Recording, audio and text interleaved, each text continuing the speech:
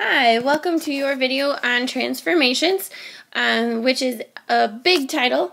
Uh, specifically, to, in today's video, it will be on translations, uh, which you'll learn about the vocabulary for those two words, but um, you will be able to graph translations and describe them. So here's your vocabulary. Uh, a transformation is a change of position or size of a figure. Um, it can be any shape, it can be um, a line, any type of change of position or size. Translation is what we're going to be focusing on today. It is a, a type of transformation that moves points the same distance and in the same direction. Um, this you probably have heard of referred to as like a slide in elementary school, um, where you're moving a shape um, in the same direction and same distance. Another vocabulary word that's important is an image. Um, that's what you call the figure after it's been translated or moved. Um, and it uses prime notation. I've given you kind of a picture of what it looks like. It's kind of like a little apostrophe. Um, and here in this picture, you can see um, here was the original dot, and then the image of A is the blue dot, um, and then we use prime notation, which means we now call it A, and then it's got the little asterisk sign next to it. Um, so that way we know this was the original and this is the new one. How do I translate a figure? Um, so here are some points, and I'm going to plot them, and then we will I will show you how to translate them. Um, so H is negative 1, negative 2, which is going to be right here. That's going to be H. Um, I is 0, 1. And J is 1, negative 2. So we have a triangle here. Looks like this. Um, so now I'm going to translate it. And let's say I wanted to translate it up 4 units.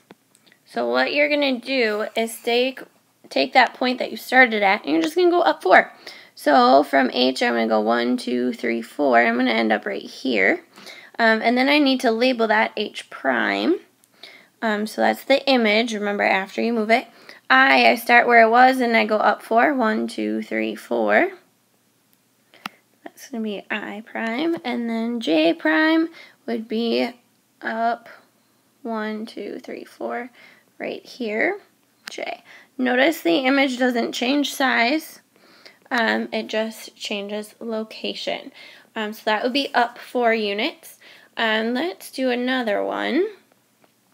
I'll just do a different color. Um, let's say we wanted to start from our original, um, which is the yellow one, and let's say we wanted to go down six and left five. So now I'm going to start at my original again. I'm going to go down six. One, two, three, four, five, six. I'm kind of running out of room. And then um, left five. One, two, three, four, five. I would be here. So I'm going to call that H prime. Now, um, if you have more than one image on one, you can make it a double prime. Um, but I'm just going to just do one being I'm doing different colors. Um, if you're not doing different colors, that might be a way for you to determine it. Um, next one, um, I, down six, one, two, three, four, five, six, and left five would be right here. And J, same thing, down six.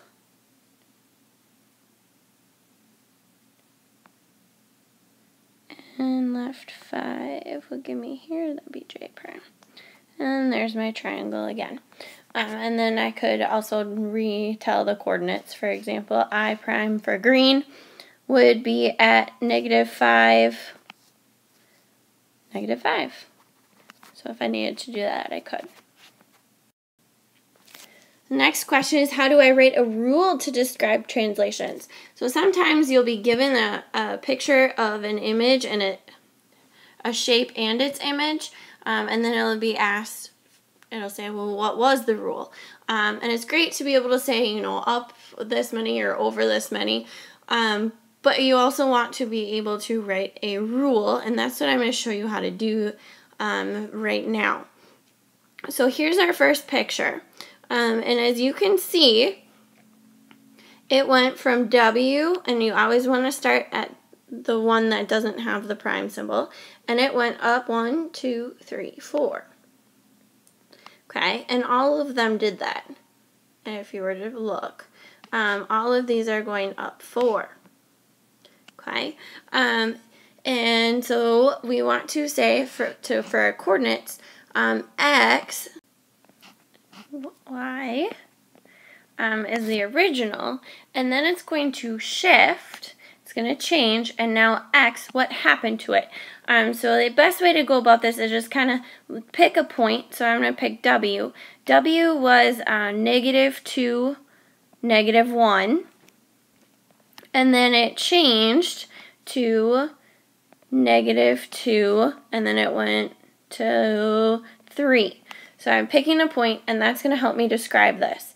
Um, so I noticed that x didn't change at all. So I'm going to just say x, and then for my coordinate, because it didn't change, I'm going to keep it that way. Um, and then to describe y, if I look here, y went from negative 1 to 3. So I want to know the difference of the two. So I'm going to take 3 minus negative 1 because we want to do the difference of the two. Um, and that's going to give me an answer of 4. So it changed 4, which means I'm going to say y plus 4. That should work, and I can double check it with another coordinate. Um, let's pick x. x was 3, negative 1. So if now that means that my new point should be 3, comma, and then negative 1 plus 4 would be just 3, and I can check to make sure that that's right, which it is. It does end on 3, so I know I wrote my notation correctly. So the notation here, I'll circle it, was the x parenthesis and then y plus 4. Um, another one, similar, just a little more complicated, looks like this. Um, and here I want to see what's happening.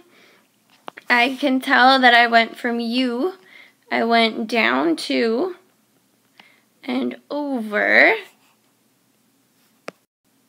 6. So now I have to write my notation. So it started at xy, and then it went to, and now I have to explain what happened. So using my coordinates is going to be helpful. Um, and you can pick whatever coordinate, it doesn't matter. I'm just going to pick u. Um, so u coordinate started at negative 4, 2. And then it went and ended up being 2, 0. So now I have to explain how that happened. So I'm going to find the difference going it went from 2 to negative 4. What happened? It changed 6. It went 6 to the right. Um, and then going from, or I should add that in there. Okay, so that was my x. So I'm going to say x plus 6. Now I have to talk about my y. My y term is 0 to 2, that's negative 2.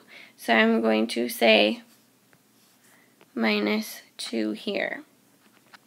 Um, and notice that that should match with what um, actually happens, um, but there's the math involved. This is my rule. Um, and then it also, just a side note, um, if you're catching on, you probably maybe are, um, but if you're talking about x, that's sideways on the x-axis. Plus means you're going to the right. Minus means going to the left. Um, you'll catch up on that. But as long as you're doing your math and showing your work and adding and finding the difference, you'll be okay. Um, y is up and down, um, and then up means plus, and then down obviously means minus. Um, so you might catch on to that, but just do your math, find the difference. Um, that's the easiest way to write this notation because it's very, very, very easy to accidentally say, you know, x minus 6 instead of x plus 6, and that does make a huge difference. All right, your turn. First question, write a rule to describe what happened in this picture. Make sure you start at the original and image um, original shape and then go to the image, not the other way, um, because that's a mistake that can be made. And then the second one, what are the coordinates um, of this shape when it is translated down three units? Um, you will need to do a Google form, so don't forget to fill that out when you are done. Google form that, please, so that I know where you're at when we're talking about this. This is the end of your video. Thank you for watching. Have a great day.